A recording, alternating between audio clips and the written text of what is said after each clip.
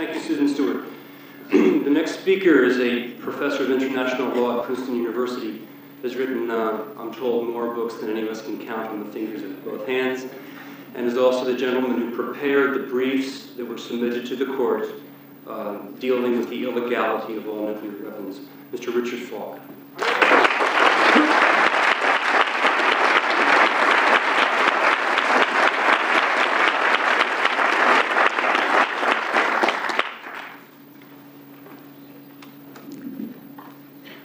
Dear friends, I feel privileged to be part of this uh, beautiful and moving occasion.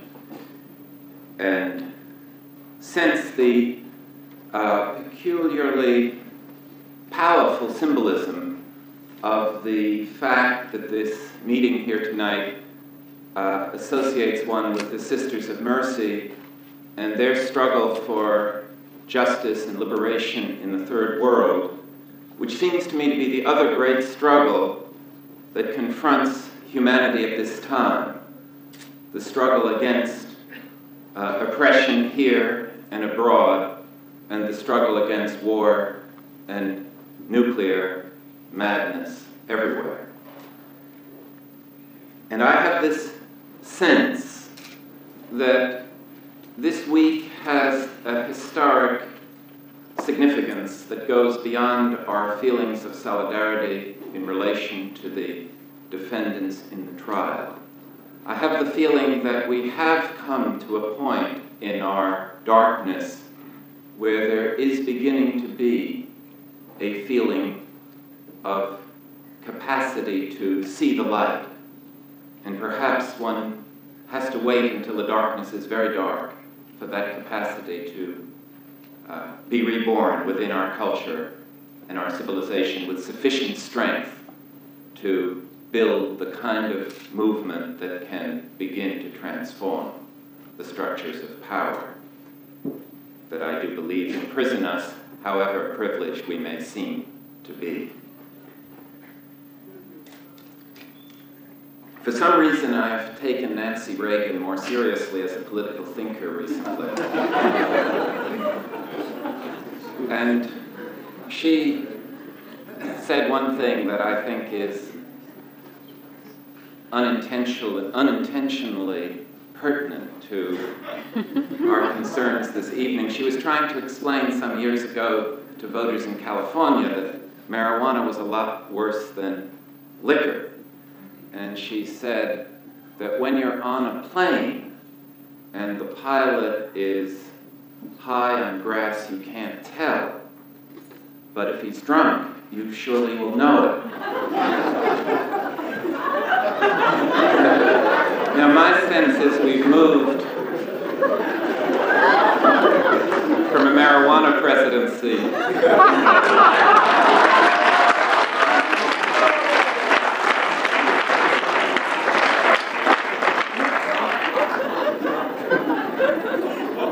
to a condition of clinical alcoholism.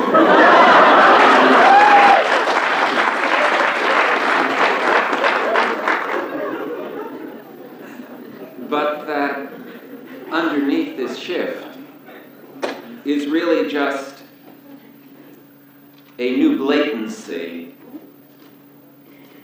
that doesn't really change the character of the political system of which we are a part. I believe all of us would be here tonight if Jimmy Carter was president and Zbig Brzezinski was the national security advisor. The fundamental issues which are posed for American society at this time are not being addressed by our political parties and by those who are contending for power. And it's important, I feel, uh, to acknowledge the irrelevance at this stage of formal institutions, of official politics. But at the same time that one says that, I think one has to have some concern about whether changes in degree carry this very dangerous way of behaving in the world past the threshold of tolerance. One has the assumption, somehow or other, that we can accommodate any level of the arms race and somehow or other it will uh, not explode in some catastrophic way. We really don't know that. And in some ways, it's very dangerous this time we're living in when there is no change in quality, but certainly a new blatancy, a new uh, determination that stretches across the center of the entire political spectrum to the far right uh, to accentuate the worst tendencies, the worst evils uh, that are part of this militarist imperial identity uh, that we have fastened upon ourselves and are fastening on others as well. A friend of mine, uh, Jim Douglass, is in uh, jail in, on the West Coast uh, for somewhat comparable reasons that have motivated the defendants in the Plowshare 8 case. And I'm sure he's known to many of you, but I wanted to read just a few lines from the statement he made to Judge Donald Voorhees on December 17, 1980, uh, just before he went to jail, because I think they do bear, at least on my understanding of this case. He was refusing a $500 fine that had been imposed upon him, and he said, I cannot cooperate with that purpose. I believe every step of our nuclear madness, including the, process, the probation process for people resisting it, is immoral and illegal, against God's law and human law. I want to resist every step of that process with all my heart.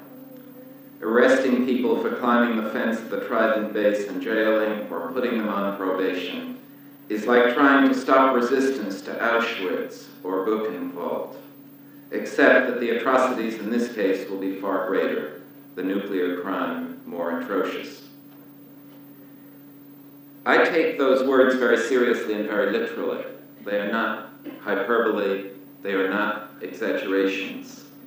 and one of the things I think that I have learned from the defendants in this case is that the language of Scripture and the language of justice means what it says, and that our own humanity and our own self esteem means taking language in a very serious way. And I think that contrasts in an important sense with the way in which language is used in political discourse and indeed within uh, universities by and large, where it has become rhetorical in the worst sense, where the pieties are repeated and repeated, but have no connection uh, with the realities that they are supposed to point to. And indeed, all that is asked for in order to transform our civilization from darkness to light is that we take the language of those verities that we affirm and that our tradition holds sacred seriously enough to act upon. That is literally all that is asked. and it seems to me that we can do no other than to respond in some way that acknowledges that level of seriousness. I want to say just a few words about the, the darkness of the law as it operates because it seems particularly relevant to the events that will follow.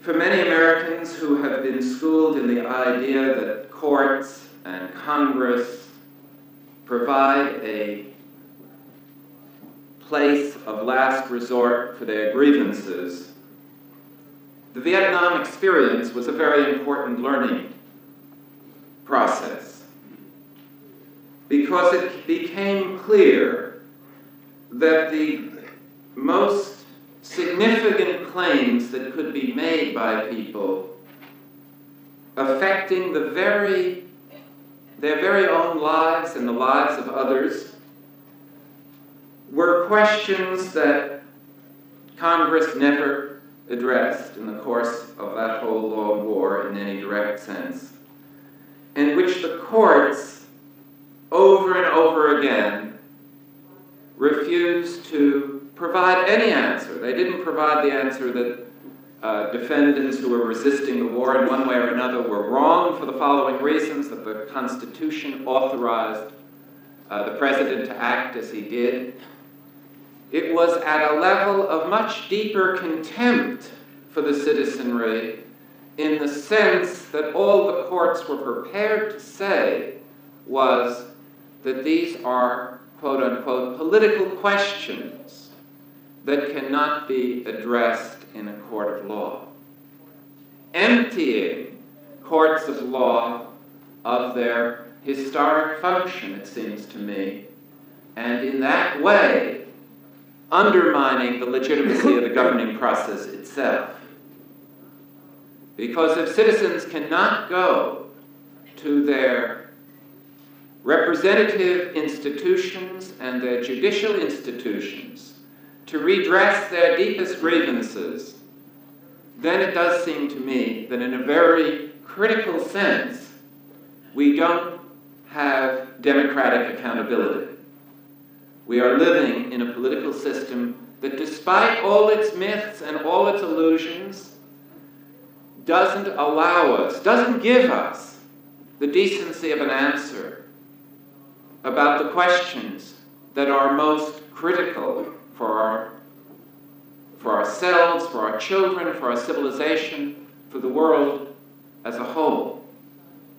And I think we have to think about the consequences of that kind of persisting illegitimacy and how one acts in the face of it.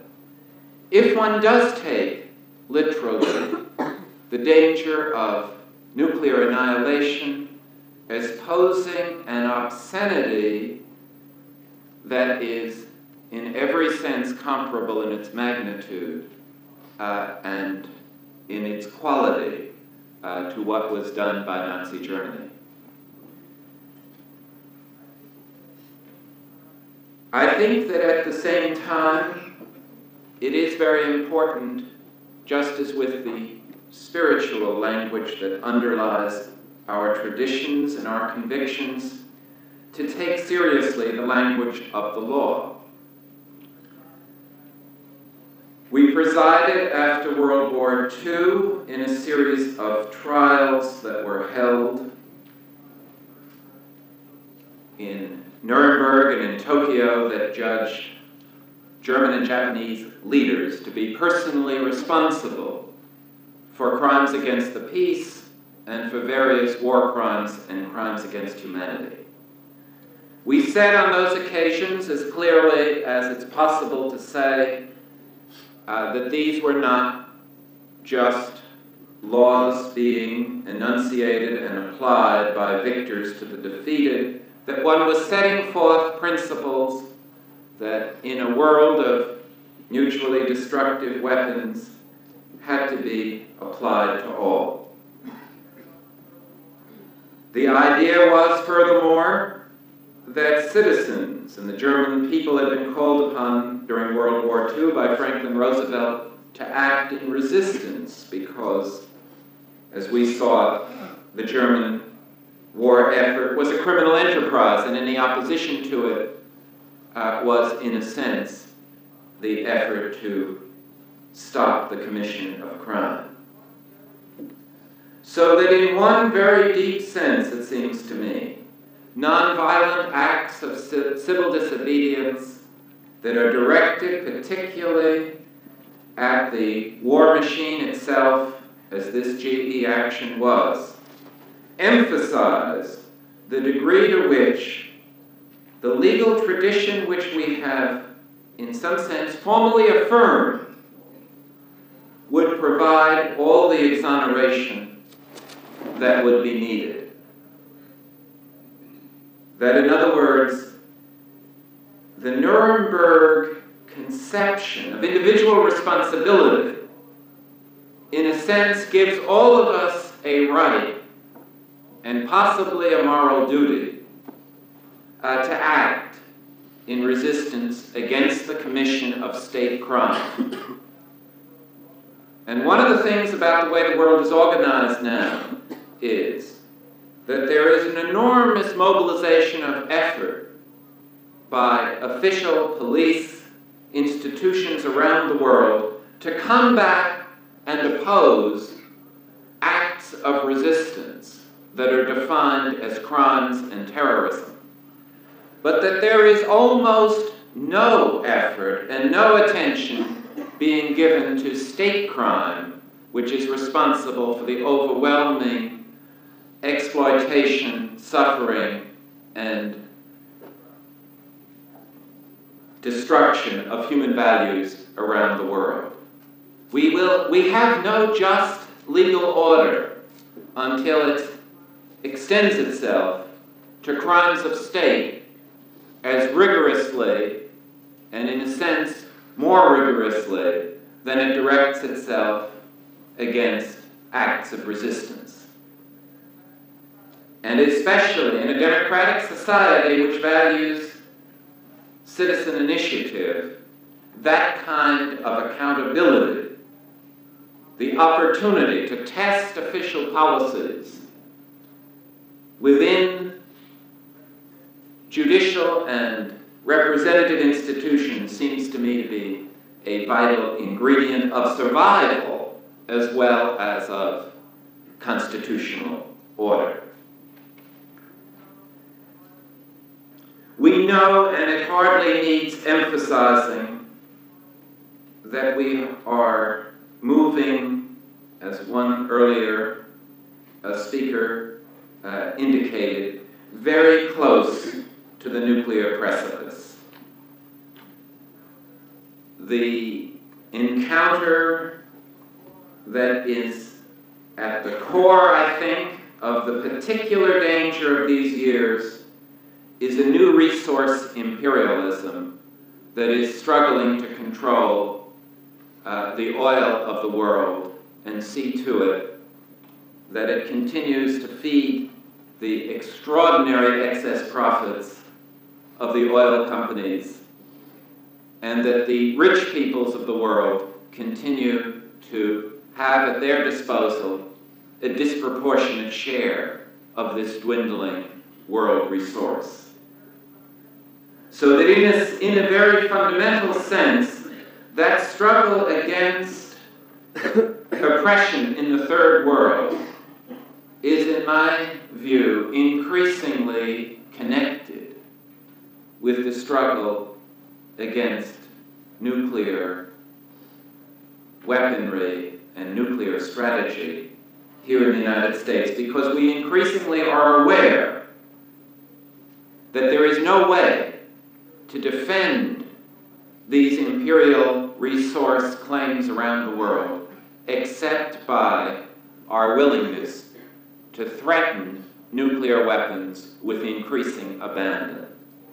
With all the talk of the rapid deployment force, which is a new way of talking about the Green Berets in the 1980s, there is very little conviction in the Pentagon and elsewhere that that kind of military capability can uphold these interests. It's really a nuclear tripwire, and for the first time in the nuclear age, nuclear threats are being directly linked to our foreign policy in the third world. And for the first time in American history, I believe, we are claiming the right to intervene in other countries purely for the sake of our claim to the resources that lie in the ground of foreign countries, dishonoring whatever uh, reality remains to our own origins in a struggle for uh, self determination and colonial independence. We are living, in other words, in the darkness of a very deep set of contradictions. I want to say one thing about the present situation that I think is very encouraging. I think there is, not only here but elsewhere in the world, a new sense of the obscenity of war. A sense that war as a social institution is just as obscene and as unnecessary for legitimate human purposes as slavery seemed to be, as slavery now seems to be. And as was also said earlier, there was a time when that opposition to slavery seemed foolish and unrealistic because everyone said that organized society required some kind of uh, slave labor to sustain itself.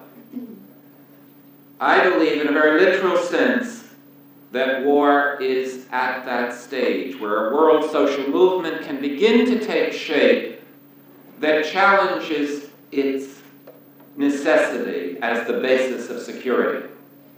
It is no longer a viable foundation for security in the nuclear age. And the sooner people act as if that is the case, the better our chance is of moving back from the precipice and moving others, including the Soviet Union, back from the kind of disastrous policies that they are pursuing.